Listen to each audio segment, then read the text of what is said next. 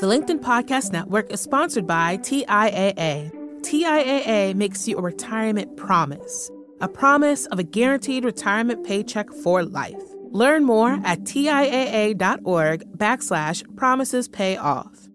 LinkedIn presents.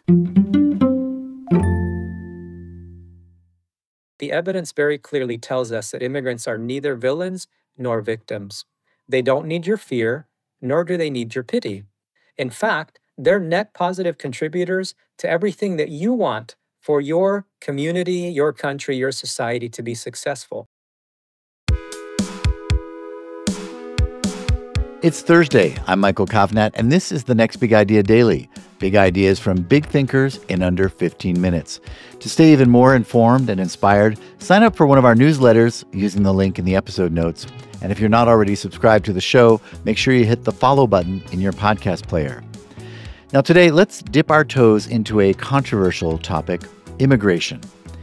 Now, there are a few ways you could look at migrants. You could see them as a threat to American jobs and culture or you could see them as innocents in need of a better life who we citizens have a moral duty to help. Well, neither of those narratives is quite right, according to Zeke Hernandez, author of the new book, The Truth About Immigration Why Successful Societies Welcome Newcomers. Zeke teaches at the Wharton School of the University of Pennsylvania, and he was selected by Poets and Quants as one of the best 40 under 40 business professors in the world. Here he is to share his big ideas.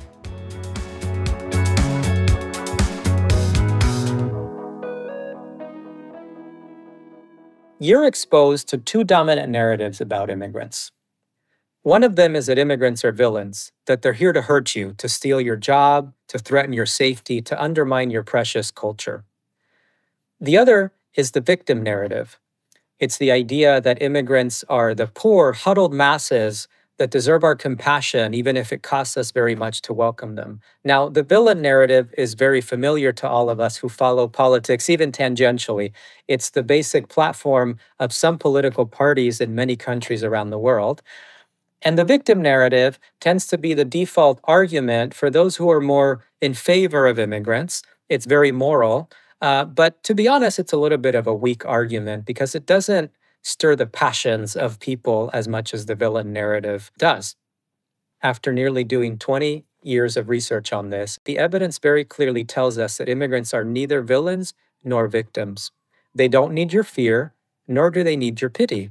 In fact, they're net positive contributors to everything that you want for your community, your country, your society to be successful. Whatever's on your wish list, whether it's cultural vitality, demographic balance, safety, investment, job creation, innovation, economic growth, and so much more. We have reason to be factually optimistic about welcoming newcomers, and not because it's good for them, although it is, but because it's good for us. We miss four of the five major economic benefits immigrants bring in our public conversations about the topic. I want you to imagine trying to make a cake with only flour, but leaving out sugar, eggs, chocolate, and butter. Now, that makes no sense. You can't really make a cake or have a good recipe that way.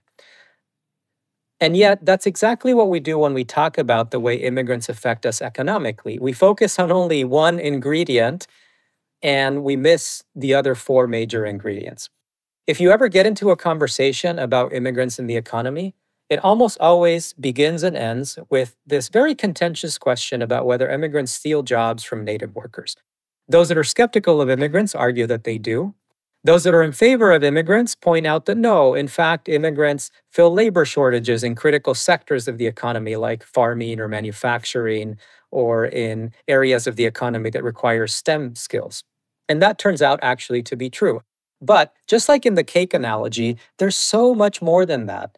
The real tragedy in how we talk about immigrants mm-hmm. and the economy is that we get stuck on the question of jobs and wages, which is only one of the five key ingredients essential for a healthy economy. Those ingredients are, by the way, one, investment, two, innovation, three, jobs, four, talent, and five, taxes.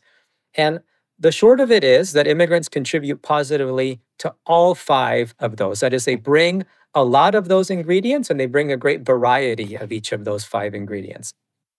But let me at least illustrate one of those benefits with a story. It turns out that if I ask you which is one of the fastest growing restaurant chains in the United States, you probably wouldn't guess that one of them comes from the country of Guatemala, of all places. This restaurant is called Pollo Campero. You might have seen one in your community, maybe you haven't. Pollo Campero means country chicken. Think of it as a competitor to KFC or Chick fil A uh, or that kind of restaurant. Now, this company was started in Guatemala and it has become, over the years, the favorite fast food in the region. In the early 2000s, the managers of this company started noticing that flights from Central America to the United States reeked of fried chicken because it was obligatory for anyone visiting their friends and relatives living in the United States to bring chicken from Pollo Campero on the plane. Now, in the years preceding that, there had been mass immigration from Central America to many parts of the United States. And so, seeing this, the managers of Pollo Campero decided to try their luck in America. They opened a restaurant in Los Angeles, thinking that they would be happy if they sold, you know, a little bit in their first year. And the lines were out the door. And this became the beginning of a very successful growth strategy for this business throughout the United States. Today, there are over 100 uh, of these restaurants throughout the country. Uh, they have followed a strategy of locating neighborhoods that have high Hispanic populations. But here's a really interesting part these restaurants have meant that this company has invested millions and millions of dollars in the US economy and created many thousands of jobs, even by a conservative estimate. And this is an illustration of something that we see in the data again and again that where immigrants settle, investment from their home countries follows. This is uh, often referred to as the investment, immigration, jobs triangle. Immigrants arrive, some years later, investment follows, and that creates jobs and creates prosperity in local communities.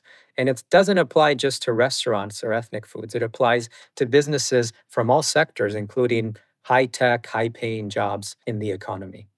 New people, when they arrive in your community, they don't just consume limited resources. They enlarge the pool of resources and make the economic pie bigger because they bring those five key ingredients. Don't worry about assimilation. Instead, focus on integration. Back when World War I was raging and the United States was getting involved in it, the largest ethnic group in the United States was German Americans. People were very worried that because uh, Germany was the big foe during World War I, that Germans would not be loyal to the United States, that they hadn't assimilated sufficiently to American culture and values.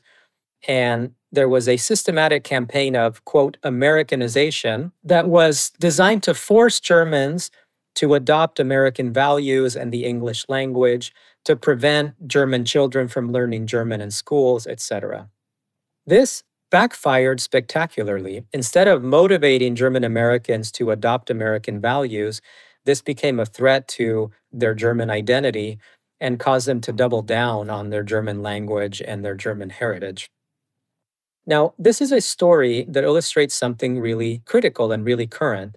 That is, that despite the economic benefits that immigrants bring, much of the opposition to newcomers stems from concerns that immigrants won't adopt the precious cultural, social, and political values that define the receiving nation. Even worse, what if they end up changing some of those things? And so the common demand, often angry demand, is that immigrants have to assimilate. Now, the research I've done on this topic really surprised me. I learned at least two things that everybody should know. First, it's that actually the immigrants that most successfully integrate into society are those that preserve rather than abandon their mm-hmm. original culture. Why? Because cultures aren't competing with one another. It's not that you have to choose, say, German or American culture. You can be highly attached to both. And in fact, the people who are attached to both their mother culture and the new culture are more successful at adopting to the receiving culture. And that's why policies aimed at forcing foreigners to abandon their original culture backfire in the same way they did for German Americans 100 years ago. Immigrants already have a very powerful incentive to adapt, and history and evidence show that they will. In fact, this brings us to the second thing that is surprising and interesting It's that remarkably, immigrants today integrate into American society at the same rate as they did even 100 years ago. So, whether it was Germans, Italians, Poles, Jews 100 years ago, or Asians and Latin Americans today, whether it's economic or cultural integration, you see the same rate of assimilation as ever. You see it, for example, in things like how their earnings catch up with the US born, how quickly they learn English, how quickly they move out of ethnic neighborhoods, or how quickly their children uh, are given native born names. The point is that the next time you have a conversation about how immigrants might be affecting your beloved country, remember that the best outcome is integration rather than assimilation. Unauthorized immigration is our own fault, and we can fix it. Now, the most common question I get from people, particularly in the United States, goes something like this Okay, a lot of what you're telling us about immigrants' contributions to the economy, a lot of what you're telling us about their success in integrating to society is true if we're talking about legal immigrants. But what about illegal immigrants? Now, of course, that's a great question because it is true that many countries, especially the United States, have very large populations of unauthorized immigrants. In the US, just about a quarter, or about 11 million people, are in the country without authorization. Undoubtedly, that's a big issue, a big problem. But most of the anger and misunderstanding comes from a severe misconception about why we have such a large undocumented population. There's a very common lay theory that the root cause of illegal immigration is a bunch of bad actors who are breaking the law, and thus the solution is to ratchet up enforcement at the border, hire more police, invest more resources in the border, build a wall. We have more than six decades of experience proving that that simply doesn't work. In fact, it does the opposite. Why? Because what the evidence shows very clearly is that the root cause of illegal immigration is that our legal system simply does not allow sufficient people to fill our economic, humanitarian, and family needs. Let me give you an example. If I'm being extremely generous, our legal system allows us to let in about half a million new people who join the workforce each year. All right. Now, the reality is much less than that, but let's be generous and say it's about half a million.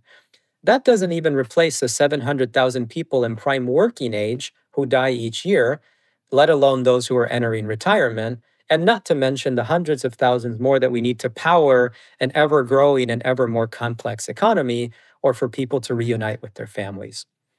In fact, the last time we updated the number of legal visas that we give was in 1990, nearly 35 years ago. Back then, the economy was $9 trillion. Today, it's $25 trillion. So the economy has more than doubled in size, and yet we're not letting in enough people even for an economy that was less than half the size. Imagine that you have a superhighway going through your state. Think of the biggest interstate highway where you live. And now imagine that instead of the normal, say, 65 miles per hour speed limit, I set a speed limit of 25 miles per hour on the highway. What's going to happen? Well, I can assure you that very few people are going to obey that speed limit simply because it doesn't make sense, not because they're bad actors.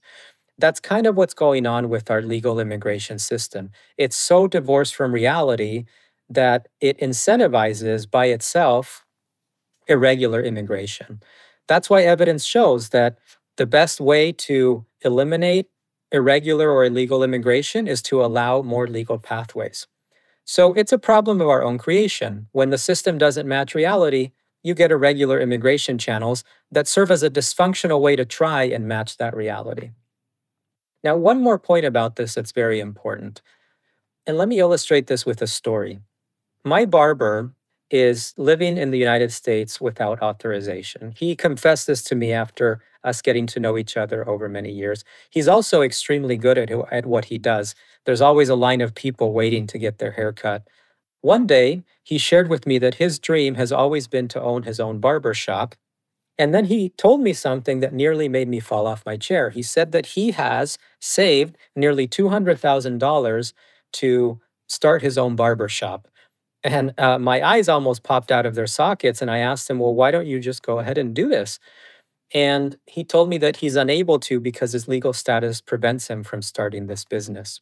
Now, my community is missing out on the taxes and jobs and talent of someone like my barber. And when you multiply that by 11 million unauthorized immigrants, you see that we are hurt by keeping these people in a permanent unauthorized status. After nearly 20 years of studying this, I can tell you that study after study, anecdote after anecdote, tells us that we can credibly expect newcomers to make our society more successful. And this isn't a conclusion that comes from partisanship or blind faith. Based on the available evidence, it's the truth about immigration. Thank you, Zeke. All right, everyone, get yourself a copy of The Truth About Immigration at your favorite bookstore. And if you like today's show, how about giving us a rating or review in your podcast player to help others find it? Remember, if you want to have big ideas like this right in your pocket, head over to your App Store and download the Next Big Idea app. I'm Michael Kovnat. See you tomorrow.